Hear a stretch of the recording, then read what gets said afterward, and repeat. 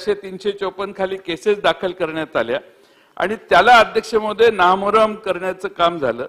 अध्यक्ष महोदय माझा प्रश्न हाच आहे की अध्यक्ष महोदय हे प्रकरण फार गंभीर आहे.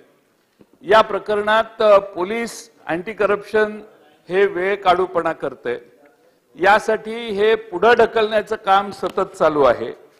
अध्यक्ष महोदय यामध्ये खरं म्हणजे अँटी करप एकोणतीस नोव्हेंबर दोन हजार बावीस ला गुन्हा दाखल झाल्यानंतर उच्च न्यायालयाच्या आदेशान्वये झाला बरं का गुन्हा दाखल. एकोणतीस नोव्हेंबर बावीस ला अँटी करप्शन ब्युरोने बेहिशेबी मालमत्तेच्या संदर्भात चौकशी केली आहे का? यामध्ये निष्पन्न झालेल्या आरोपींच्या विरोधात व पुरवणी जबाबातील आरोपींच्या विरोधात तपास अधिकारी यांनी कोणती कारवाई केलेली आहे? या बाबतीत अध्यक्ष महोदय एक तर माझी मागणी माननीय उपमुख्यमंत्र्यांना आहे की ज्याने ही तक्रार केली त्याने हे धाडस दाखवलेलं आहे त्याला संरक्षण दिलं पाहिजे.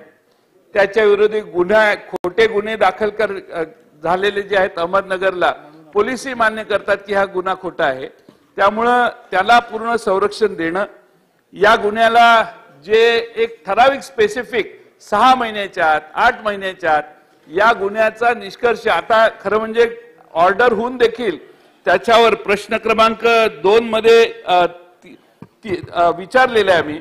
निकाल सर्वोच्च न्यायालयाचा होऊन देखील आणि सुप्रीम कोर्टात याचिका फेटाळली जाऊन देखील अद्याप गुन्हेगाराला अटक करण्याचं कोणतंही काम झालं नाही. त्याला आपण उत्तर दिले चौकशी करताय आणि कसून चौकशी चालू आहे. तर माझा प्रश्न आहे माझी त्याच्याबद्दल तक्रार नाही. आम्हाला हिंदू देवस्थानाच्या जमिनी हडप करणं ही सगळ्यात चिंतेची बाब आहे.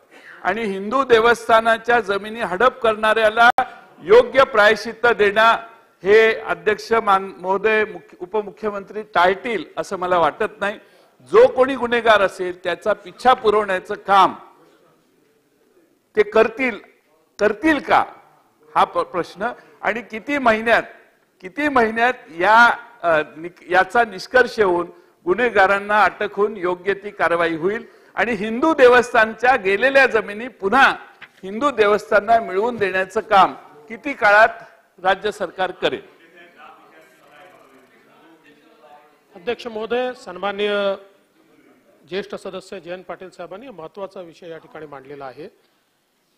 हिंदू देवस्थानच्या जमिनी या कोणी असो जर इल्लिगली विकल्या असतील कब्जात घेतल्या असतील तर त्याच्यावर कारवाई करणं ही शासनाची जबाबदारी आहे. या संदर्भात आपण ज्याप्रमाणे सांगितलं की माननीय उच्च न्यायालयाचा एक आदेश आल्यानंतर त्याच्यामध्ये सरकारच्या परवानगीची आवश्यकता नाही. एकदा तो आदेश आला म्हणून ती परवानगी देण्याचं काही कारण नाही. त्यानुसार एफ आय आर दाखल केलेला आहे. तो एफ आय आर दाखल केल्यानंतर त्याच्यामध्ये आता जाब जबाब चालू आहेत.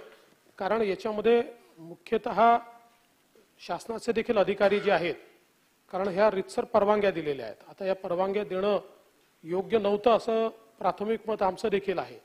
त्यामुळे अशा प्रकारे नाही नाही खऱ्या परवानग्या दिल्या आहेत.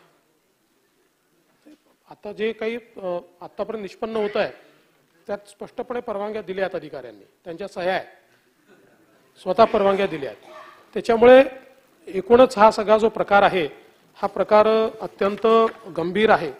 खरं म्हणजे मी स्वतः देखील साधारण जेव्हा विरोधी पक्षनेता होतो तेव्हा तेरा डिसेंबर दोन हजार एकवीसला तत्कालीन एस पीला एक पत्र लिहून या ठिकाणी काय काय अशा प्रकारचे जमीन हडपण्याचे प्रकार झाले आहेत या संदर्भातली एक तक्रार केली होती आणि त्याच्यामध्ये हिंदू देवस्थानांच्या विविध म्हणजे या गुन्ह्यांमध्ये आहेत याच्या व्यतिरिक्त अनेक जमिनींच्या संदर्भातली माहिती कोणी कोणी त्या जमिनी हडपल्या कशा कशा गेल्या याचं एक पूर्ण रॅकेट खरं म्हणजे या बीड जिल्ह्यामध्ये पाहायला मिळत आहे.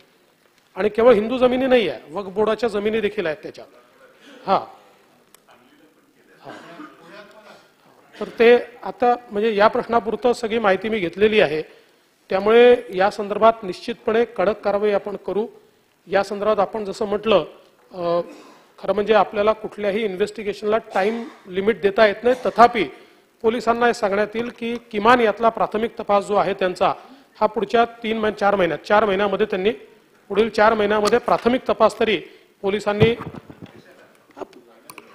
नाही असं आहे की फायनली म्हणू शकतो आपण पण आपल्याला माहिती आहे कुठल्याही इन्व्हेस्टिगेशनला शासन टाइम लिमिट देऊ शकत नाही. शासन सूचना देऊ शकते. त्याप्रमाणे सूचना देण्यात येते. सूचना निश्चित देऊ पण त्याला टाइम लिमिट शासनाला देता येत नाही. मुळातच इन्व्हेस्टिगेशनमध्ये शासन इंटरफिअरच करू शकत नाही. असा नियम आहे. परंतु याची जी काही तीव्रता आहे ती तीव्रता पाहता या संदर्भात जे काही लवकरात लवकर आपल्याला त्याची कारवाई करता येईल ते करण्याच्या संदर्भातली माहिती आणि त्या संदर्भातल्या सूचना या सरकार दे- दे लाचलुचपत प्रतिबंधक विभागाला देण्यात येतील. आशिष शेलार.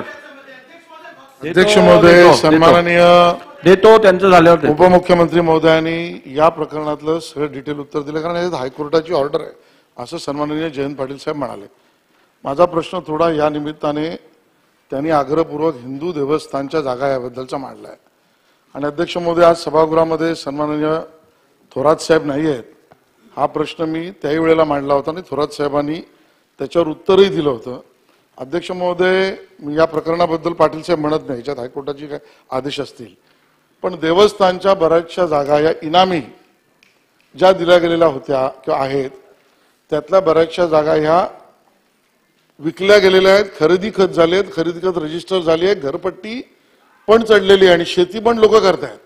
मी एका प्रकरणातलं म्हणत नाही मी सरसकट राज्यातलं म्हणतो. माझ्याकडे एक उदाहरण आहे अध्यक्ष महोदय. महडचा जो गणपती आहे ते महड खालापूर रायगड येथे विठोबा देव वावशी देवस्थान खोपोली. इनामदार टिळक त्यांनी ही जागा विकली. जिरायतीची एकशे सत्तावन्न चौरस मीटर भोगवाटा वर्ग क्रमांक दोन. खरेदी झालं रजिस्टर झालं घरपट्टी जडली. आता नावावर ट्रान्सफर होत नाही अध्यक्षमध्ये. माझं असं म्हणणं आहे हे प्रकरणाच्या निमित्ताने अशी जी प्रकरणं आहेत त्याच्यामध्ये तत्कालीन मंत्री जे रेव्हेन्यू मिनिस्टर थोरात साहेब असं म्हणाले होते की अशा जेन्युअन केसेसच्या बाबतीत सरकार कायदा सुद्धा आणेल आणि त्याच्यातल्या आज कायदेशीर त्यातल्या कायदेशीररित्या ज्यांच्याकडे जागा आहेत त्यांचा सातबारावर किंवा कायदेशीर नाव चढवण्याच्या प्रक्रियेचा निर्णय सुद्धा सरकार करील असं तत्कालीन सरकारच्या वतीने थोरात साहेबांनी म्हटलं होतं. तर माझा प्रश्न असा आहे असा विचार सरकारचा आहे का? सरकार तसा कायदा आणणार आहे का? आणणार असेल तर कधीपर्यंत आणेल? अध्यक्ष महोदय असा कायदा आणण्याचा विचार सरकार करत आहे. त्या संदर्भातला ड्राफ्ट देखील तयार केला आहे. शक्य झालं तर या अधिवेशनात नाहीतर पुढच्या अधिवेशनात तो कायदा आम्ही आणू. शेख. अध्यक्ष महोदय कम से कम